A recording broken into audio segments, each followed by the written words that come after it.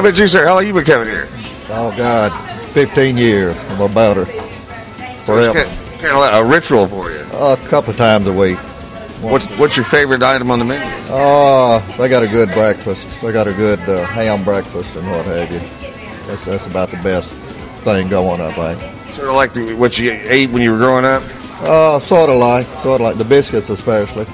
You know, they do real good on all of them. Okay, thanks, sir. How about you, sir? How long have you been coming here? Since 84. 84. And uh, obviously they're doing something right here. Oh, yeah. Our office is right across the street, so it's just an everyday occurrence to come in here. So you get it for the whole office, or you just get it for you? Just for me. Just for me. the only you one. eat it before you get to the office. No, I, generally, I, after I get to the office, I run over here and pick it up. Yeah. And your favorite item? sausage and biscuit Sausage and biscuit. every day. Thank you, sir. Well, you know, you're the first lady we've come up, and uh, so uh, a lot of guys like this. Do you, how long have you been coming here? Over 25 years. Really? Since you were a little girl.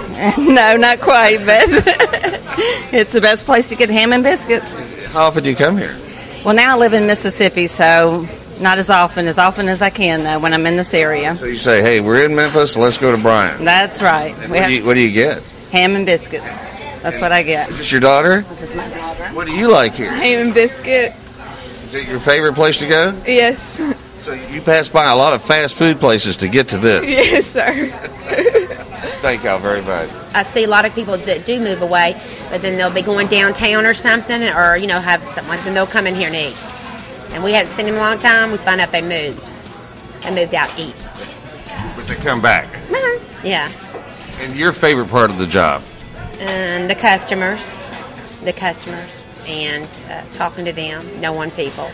I can go out places and I'll see somebody I know. My daughter will go, I know, you know, I'm from the restaurant. Yeah, Well, but everywhere you go, you see somebody you know. I do. Mm-hmm. I've seen it. It's really kind of a, a stable area, in my opinion. You'll see uh, the High Point Terrace area. Uh, it's just a wonderful neighborhood of folks. You know, real committed neighbors that work in the neighborhood. Uh, we have Grahamwood Elementary School directly across the street. It's a terrific optional school that's provided, I think, a good uh, nucleus to the neighborhood. Um, we really have seen just customers that have stayed in this neighborhood, and we we they've been our customer for 30 years. Their children, and we see grandchildren now that are customers. Now, there, of course, as Memphis is spread out, we got uh, back in when my dad started, there wasn't a Cordova, and there wasn't everybody living in Collierville, and so that's definitely affected. I think uh, families moving in and moving out. There's not these big houses in High Point for people to live in families. But what I think has benefited us is our location. We're right off Sam Cooper and Graham.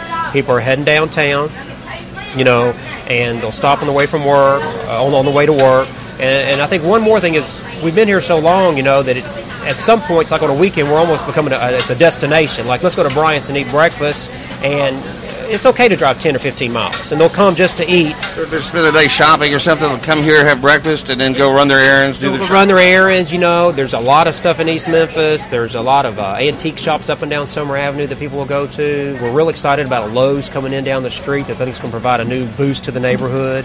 Um, so all in all, I've been satisfied with the neighborhood. It's been a real, real great number of folks. How important is it to a neighborhood to have a neighborhood place like that that's been here for 30 years? I think it's really important. I think it's a real neat concept when you think about it. You have that sense of community. We have a table that's been featured in numerous newspaper articles about uh, the number of folks that sit there. And they'll come in around eight, and they'll stay, you know, five, six hours until we close.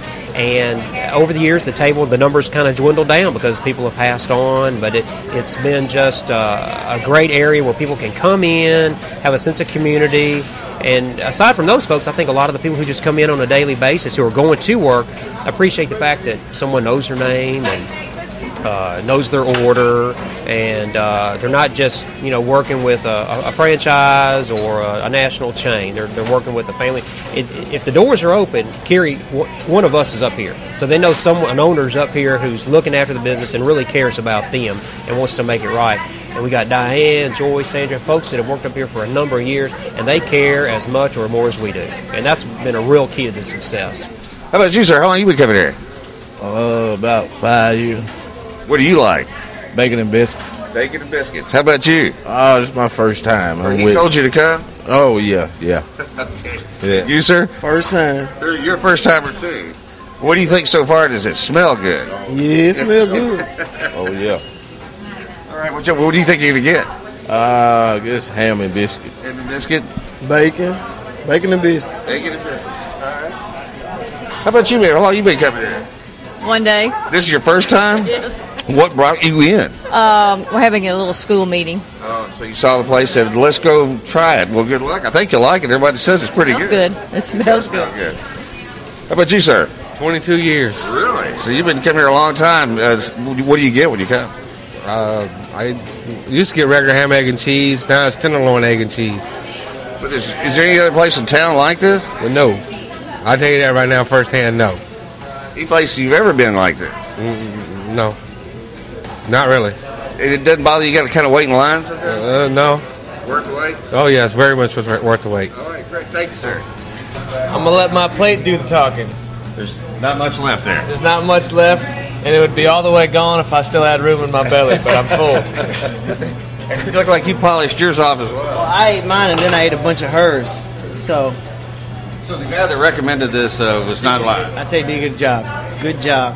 We'll be here. It's our new spot. New spot from now on. These young people out of here said the reason they came here today is because you told them to come here. That's exactly right. It's You got to get him to tell you how he describes this place because it, that's what made us want to come here. good country cooking, best breakfast in town, great price. Now, you said something about the gravy. that You could literally. Drink it out of the cup, and that's usually what I do. Hi, ladies. Uh, how long you been coming here? I've been coming here about three years. What do you like here? I like the biscuits, love the bread. Mm-hmm. You got a lady back in the back named Joyce who does all the biscuits. I think she's pretty good at it. Yeah, she is. Uh-huh. Yeah, we love it. Mm-hmm. Com- What do you get besides the, the biscuit? uh, the country ham breakfast. Mm-hmm. How about you, ma'am? Hello, about 10 years. About 10 years, and what do you like? I love the biscuits and the syrup. Yes. You usually get it to go? No, we like to sit down and eat. Well, it's an interesting place to sit and watch people, too. Yes, it is. Yes, it is. A good mixture. Yes, and the food is very tasty, the service is excellent, and the price is right. Get a lot for your money. Yes. And it's good. Yes, it is. Very good. I like the bacon and egg biscuit. How often do you think you come here? Um, at least four times a week, work week. You can't explain it sometimes. It's the people, the customers, the food, the location. It's all fit together. And I don't think my dad even dreamed of 30 years ago that it would still be going on so strong and that uh, what he's left behind has been so successful. And uh, I think when other people look at it, they, they want to say, well, I can copy that. And uh, it's there's not no there's not a recipe for that. We don't even have a recipe for the biscuits. So count our blessings that we're fortunate to have it. Uh, that's what I do, and that's what we should do. That's our show for this week. Thanks to Phil, Carrie, their mom Jane, and the whole crew at Bryant's Breakfast for having us in. On a sad note, one of the restaurants we've featured a couple of times on My Favorite Restaurant burned to the ground recently. The Blue Monkey downtown caught fire in the early morning of Sunday, September 18th. No one was injured in the fire, and the cause is still under investigation. The owners of the Blue Monkey downtown spent two years building the restaurant, which was filled with extremely detailed wood and cork designs. They are determined to rebuild and say hopefully it won't take two years. In the meantime, the original Blue Monkey at Midtown is still rocking. As for the owners, it's time to roll up their sleeves and start the hard process of rebuilding the Blue Monkey downtown. Good luck, guys. We'll be there for the reopening. I'm Earl Farrell. We'll see you next time on My Favorite Restaurant.